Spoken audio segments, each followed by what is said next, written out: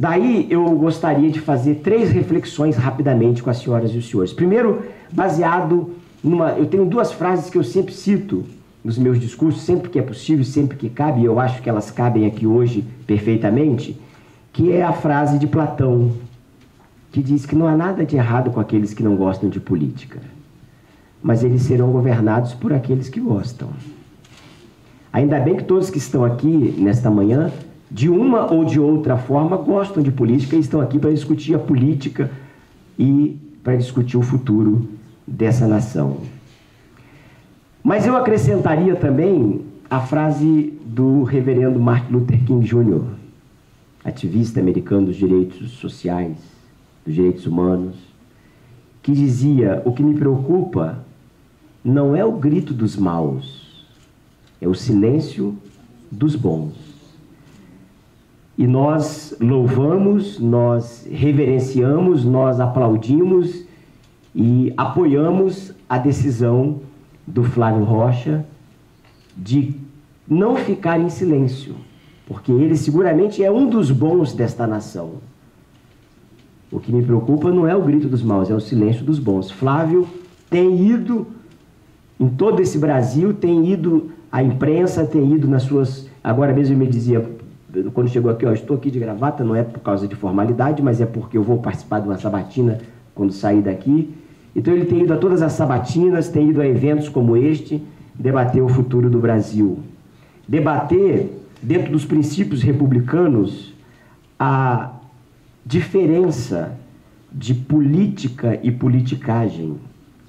Aliás, eu fiz essa reflexão sexta-feira à noite, no evento lá em Mogi Mirim, aqui em São Paulo, e toda a plateia que estava presente pôde assimilar muito bem. O dicionário define política como a arte ou a ciência de governar. A arte ou a ciência da organização, da direção, da administração de estados, é, de nações. O dicionário também define politicagem como a política de interesses pessoais, de troca de favores ou de realizações insignificantes o conjunto de políticos que se dedicam a essa espécie de política. E aí nós temos exemplo de política, as políticas públicas, a, a reforma é, trabalhista que foi aprovada no ano passado, a reforma tributária que é bandeira do Sebrae, e o João Diniz, agora antes do início do evento, me falava muito sobre isso. Nós temos as políticas públicas de habitação, de geração de emprego. Emprego e habitação são dois temas que dão dignidade ao ser humano.